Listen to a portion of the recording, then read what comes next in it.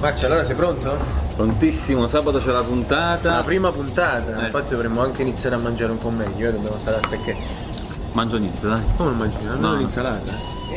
Un'insalata. Ecco gli altri.